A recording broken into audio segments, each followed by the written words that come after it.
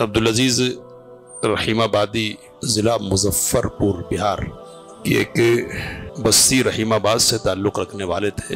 रोब का आलम यह था कि महल के सामने से, कोठी के सामने से अंग्रेज़ भी गुजरता तो अपनी टोपी उतार लेता। बड़ी खसूसियत उनकी ये कि वो लड़ने भिड़ने वाले आदमी थे। यानी मुकदमाबाजी उनको आती थी। तो अगर जाएँगे ना मुर्शिदाबाद, मशहूर ज़िला है बंगाल का तो पूरा का पूरा ज़िला क्या है?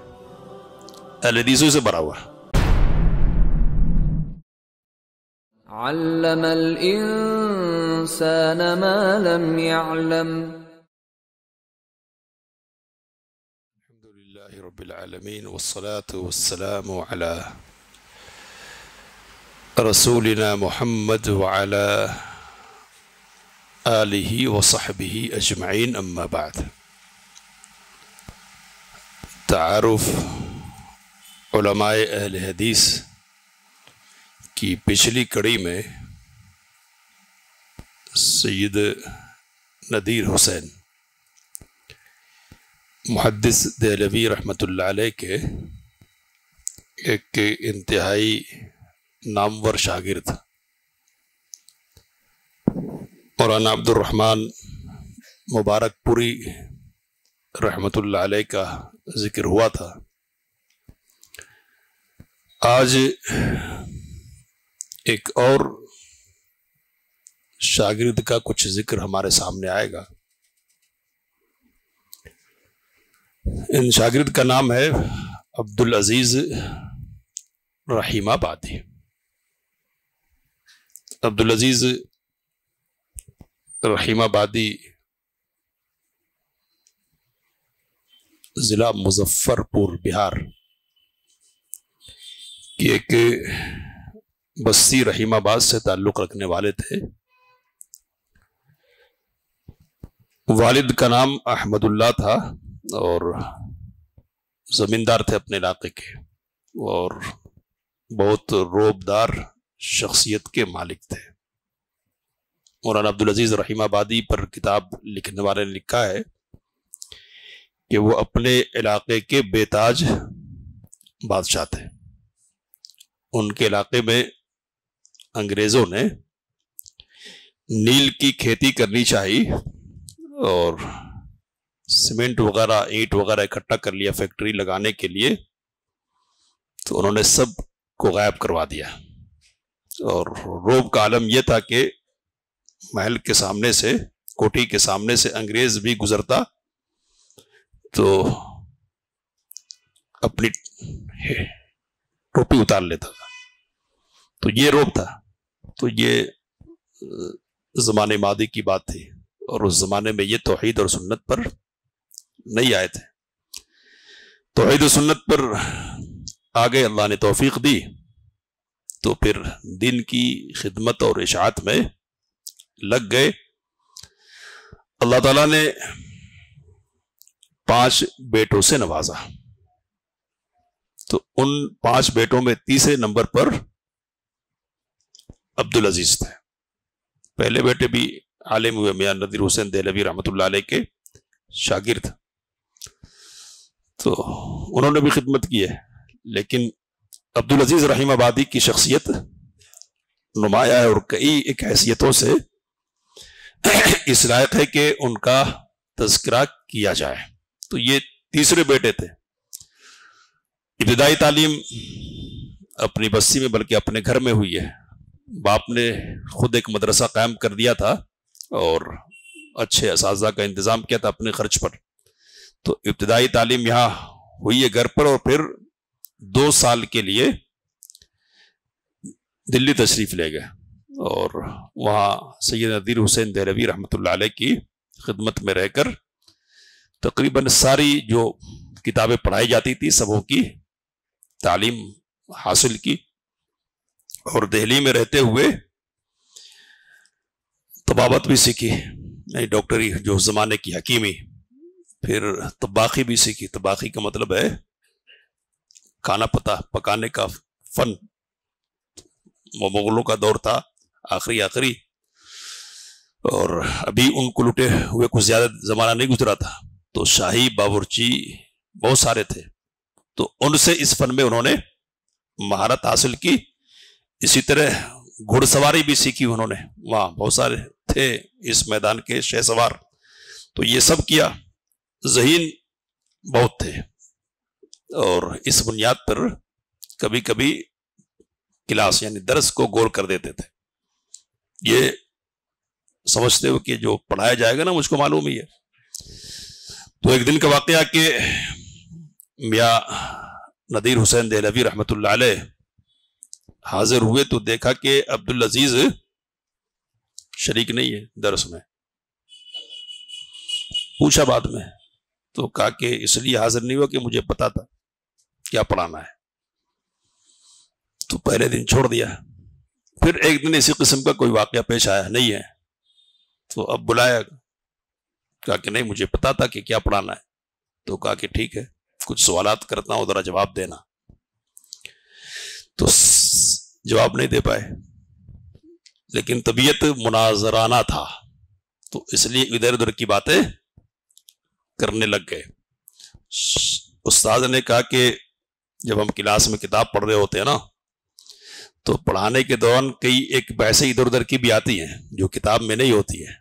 तो इसलिए ये समझना कि मुझको आता है, इस समझ की बुनियाद पर क्लास को छोड़ना नहीं चाहिए। और फारसी का एक शेर पढ़ा कि हर बीच गुमा मुबर की खालिस्त। हर जंगल के सिलसिले में ये गुमान नहीं करना चाहिए कि खाली ही है। मुमकिन है कि कहीं शेर सो रहा हो। है ना? तो ये नहीं समझना कि मुझको सब आ रहा है। कोई नई बात सीखने को मुझको नहीं मिलेगी। तो बहरहाल ये जहानत की मिसाल के तौर पर बात आई हमारे सामने, दो साल रहे और उसके बाद फिर अपने गाँव लौट आए और वालिद साहब का जो मदरसा था, वह दरीस वगैरह का काम शुरू किया पढ़ाने का। तलबा रहकर भी तालीम हासिल करते थे और उनके सारे अखराज वालिद साहब उनके उठाते थे अहमदुल्ला और पढ़ाने के साथ साथ इमामत व खिताबत का फरीजा अंजाम देते, इलाके में वादो नसीहत के लिए भी तशरीफ़ ले जाते और आठ साल तक यहाँ रहे गाँव में। फिर उसके बाद जो शहर है, यानी जिला डिस्ट्रिक्ट टाउन है, शहर, वहाँ चले गए, मुजफ्फरपुर। तो दस साल का जमाना उनका यहाँ गुजरा है। इस जमाने में उन्होंने दीन की तबलीग और इशात का बहुत सारा काम किया। तो ये तो अब पढ़ने पढ़ाने की बातें होंगी आलिम है तो। मौलाना अब्दुल अज़ीज़ रहीमाबादी की कुछ खसूसियात हैं, जिनको हमको समझना है। तो बड़ी खसूसियत उनकी ये कि वो लड़ने भिड़ने वाले आदमी थे। लड़ने भिड़ने वाले। यानी मुकदमा बाजी उनको आती थी। और जहाँ भी ज़रूरत पड़ी, मुसलमानों में से दूसरे तबके के खिलाफ हो, या गैर मुस्लिमों के खिलाफ तो उनको आगे बढ़ाया गया और उन्होंने जीत दिलाई। और जीत दिलाने के सिलसिले में उन्होंने कुर्बानियाँ भी दी। तो अपना पैसा खर्च किया। एक मुकदमा चला एक मस्जिद के हवाले से तो उस जमाने में उन्होंने अस्सी हज़ार रुपए अपने खर्च किए और मुकदमा उन्होंने जीता। अब इसी तरह के मुकदमात के जीवन में एक किस्सा लिखा है और इस किस्से को इसलिए बयान कर रहा हूँ मैं कि हमारे लिए एक चीज़ हो जाए, हासिल क्या है कि करामत कोई चीज़ होती है। करामत क्या है ये? तो मुआजा एक चीज़ है। जिसको हम जानते हैं, नबी के ज़रिए से, नबी के वास्ते से कोई ऐसा वाकया जो आदत से हटके हो, जो उमूमन पेश आने वाला नहीं हो, पेश आए तो उसको क्या कहते हैं? मोजिजा कहते हैं। मूसा सलाम की लाठी सांप बन जाया करती थी मोजिजा है, वगैरह। गैर नबी की तरफ़ से इस किस्म की कोई बात जो पेश नहीं आने वाली, पेश आ जाए तो उसको क्या कहते हैं? करामत कहते हैं। जिस तरह मोजिजा बर हक है, उसी तरह करामतें भी बरहक होती हैं। तो अब हमारे यहाँ करामतों के किस्से तो मशहूर और मरूफ नहीं है। और मरूफ और मशहूर नहीं होने की वजह से जहन एक बन ये गया कि कि करामत कोई चीज़ है ही नहीं। हालाँकि बात क्या है तो अहल सुन्ना वल जमा के अकायद में से ये बात भी है कि औलिया की करामतें क्या है? बरहक है, यानी सही बुनियाद पर शरी उसूलों के मुताबिक कोई चीज़ पेश आती है इसको रद्द करने की कोई वजह नहीं है तो फिर उसको तस्लीम करने में कोई हर्ज की बात नहीं है। तो मौलाना अब्दुल अज़ीज़ रहीमाबादी रहीमल्ला के साथ एक करामत पेश आई। कैसी करामत थी? तो मुकदमा लड़ना है। जिन साहब को मुकदमे की ज़िम्मेदारी दी गई है, वो ऐन वक्त पर हाजिर हो रहे हैं और कह रहे कि कल मुकदमे के लिए जाना है, लेकिन मुकदमे के लिए दरकार जो रकम है ना अपने पास आई नहीं। तो उन्होंने अपने एक साथी से कहा कि इनको नाश्ता करवाओ और नाश्ता करवाने के बाद फिर मेरे पास लेकर आओ। तो नाश्ता करवाया और लेकर गए। तो एक संदूक उन्होंने खोला, उसमें से रूपों की गड्डी निकाल कर दे दी। कहते हैं, वो साहब के उस जमाने में मौलाना के पास कुछ पैसा वैसा था नहीं, लेकिन किधर से आए तो ये जो रूपों का निकलना है ना, ये क्या है? ये करामत है है ना? तो करामत भी पेश आई है। कई एक मस्जिदें ऐसी थी एलदीस और हनफियों के दरमियान झगड़ा। तो उसमें आगे बढ़कर उन्होंने कामयाबी हासिल की। कई मौकों पर ऐसा हुआ कि मस्जिद हुकूमत के सिलसिले में जेर एताब है, यानी ज़रूरत पड़ रही है। मुजफ्फरपुर रेलवे स्टेशन है, वहाँ अब एक मस्जिद है कायम। तो रेलवे स्टेशन कायम करने और पटरिया बिछाने के लिए बीच में मस्जिद आ रही है। तो मैनेजर रेलवे का उस वक्त का जो बड़ा था, वो खुद आया कि दूसरी जगह मुंतकिल कर देंगे, बहुत ज़मीन देंगे इसके बदले। तो मौलाना कह कि नहीं, हमारे यहाँ कायदा ये कि एक जगह जब मस्जिद बन गई है तो अब उस जगह से हटेगी नहीं। तो आप इधर उधर कर ले, लेकिन ये मस्जिद तो यही रहेगी। तो वकालत की उन्होंने मस्जिद अब भी कायम है। दरभंगा एक शहर है बिहार में। वहाँ एक किला है, छोटा, है ना, महाराजा दरभंगा का। तो वो किला बनाया जा रहा था तो किला बनाने के लिए जो चार दीवारी कायम होनी है, उस चार दीवारी को सही रुख पे रखने के लिए एक छोटी सी मस्जिद बीच में आ रही थी। तो अब ये कोशिश हो रही है कि इस मस्जिद को निकाल देंगे, दूसरी जगह मुंतकिल कर देंगे।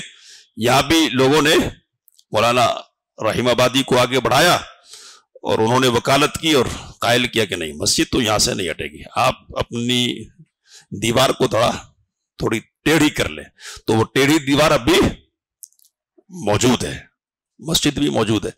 तो इस तरह के कई वाकयात हैं उनकी ज़िंदगी में। अब झगड़े का एक मैदान है, मुनाजरे का मैदान, मुनाजरे का। तो अहलदीसों की तारीख में एक मुनाजरा बहुत मशहूर है। जिसको मुनाजर मुर्शिदा आबाद कहा जाता है। कई दिनों तक ये मुनाजरा अहनाफ और अहलदीसों के दरमियान चलता रहा। अहनाफ की तरफ़ से रोज़ाना की बुनियाद पर मुनाजिर बदला करता हर रोज एक नया। तो एक तफसीर हक्कानी एक मशहूर तफसीर है अब्दुल हक हक्कानी। तो वो भी मुनाजिरों में से बड़े उलमा में से अहनाफ के। तो ये मुनाजरा कई दिनों चल, तक चलता रहा। साथ में कई उलमा थे, मौलाना सईद अहमद बनारसी वगैरह। लेकिन मुनादिर की हैसियत से मौलाना रहीमाबादी अहलदीसों की तरफ़ से नुमाइंदगी करते रहे। तो नुमाइंदगी की उन्होंने सबको शिकस्त दी। किस मसले पर था ये? तकलीद के मसले पर। तकलीद फस अहल इन कुन तुमला तलमून इसकी ऐसी तशरी की कि अवाम और उलमा सब दंग रह गए। और बड़ी बात यह है कि इस मुनादरे में मौलाना रहीमाबादी के उस्ताज मोहतरम शेखुल कुल फिलकुल मियाँ सैयद नदीर हुसैन दहलवी रहमत भी मौजूद थे। उन्होंने शागिर्द की पीठ थपथपाई और शाबाशी दी कि तुमने ज़बरदस्त मुकाबला किया है। तो इस मुनादरे की बुनियाद पर क्या है? अब ये मुनादरा मुर्शिदाबाद के नाम से ये मुनादरा अब किताबी शक्ल में भी मौजूद है। इस मुनादरे की बुनियाद पर उस वक्त दस हज़ार लोगों ने मसल के अहल हदीस कबूल किया था। दस हज़ार। अब अगर जाएँगे ना मुर्शिदाबाद, मशहूर जिला है बंगाल का तो पूरा का पूरा जिला क्या है? अहल हदीसों से भरा हुआ। वो शायद इक्का दुक्का इधर उधर कुछ लोग मिलेंगे जो गैर अहल हदीस होंगे। सबके सब क्या है? तो ये मौलाना रहीम आबादी की खिदमत में से है कि एक बड़ा मुनादरा उन्होंने जीता। उस मुनादरे की बुनियाद पर इलाके के लोगों में उनकी इलमियत की धाक जमी और लोग उनसे मुतासर हुए। मुनादरे की बुनियाद पर दस हज़ार लोग अहलदीस हो गए और बाकी और खिदमत चलती रही तो कितने लोगों ने मसल के अहलदीस कबूल किया। 1906 में ऑल इंडिया अहले हदीस कॉन्फ्रेंस कायम हुई। जमात हदीस के अफराद थे मौजूद यहाँ हिंदुस्तान में, उनकी अपनी अपनी मेहनतें थी।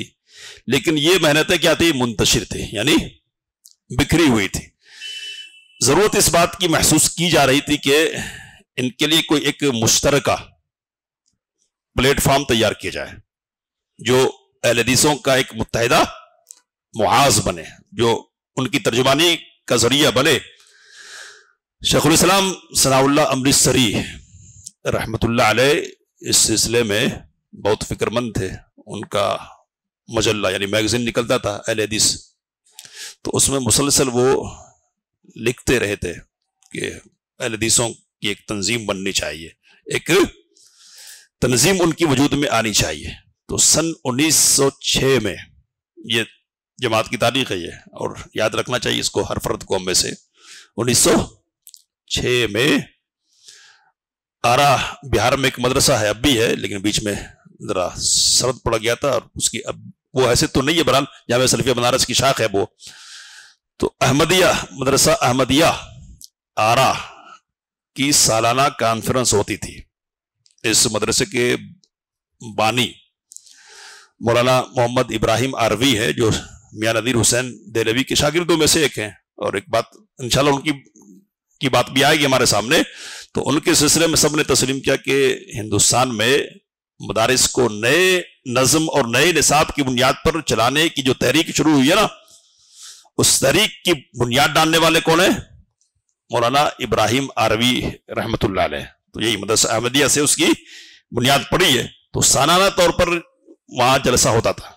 तो ये जलसा मुनद हुआ। बड़े बड़े हिंदुस्तान के इस वक्त यहाँ मौजूद हैं इन ऑल इंडिया अल हदीस कॉन्फ्रेंस कायम की गई। तो पहले ऑल इंडिया अल हदीस कॉन्फ्रेंस के नाम से कायम हुई थी। आज़ादी से पहले इसी नाम से ये कॉन्फ्रेंस चलती थी। बाद में इसको क्या नाम दिया गया? तो ऑल इंडिया की जगह मरकजी कर दिया गया। क्या है? मरकजी और फिर कॉन्फ्रेंस की जगह जमयत तो मरकजी जमयत अहल हदीस हिंद के नाम से जमीयत बन गई तो 1906 में ये कायम हुई है कायम तो हो गई करिया करिया शहर शहर फिर कर उसको मुनजम करने के लिए तीन रुकनी एक वफद तैयार किया गया तीन रुकनी समझ रहे तीन लोगों की एक टीम बनाई गई तो ये मामूली लोग नहीं थे टीम में। कौन थे? नंबर एक मौलाना अब्दुल अज़ीज़ रहीम आबादी नंबर दो सनाउल्ला अमृतसरी। नंबर तीन, मौलाना इब्राहिम मीर सियालकोटी। अब ये बड़े बड़े लोग हैं। हम नहीं जानते तो ये हमारी किस्मत की बात है, लेकिन भारी नाम है ये। बहुत भारी भारी नाम। है ना?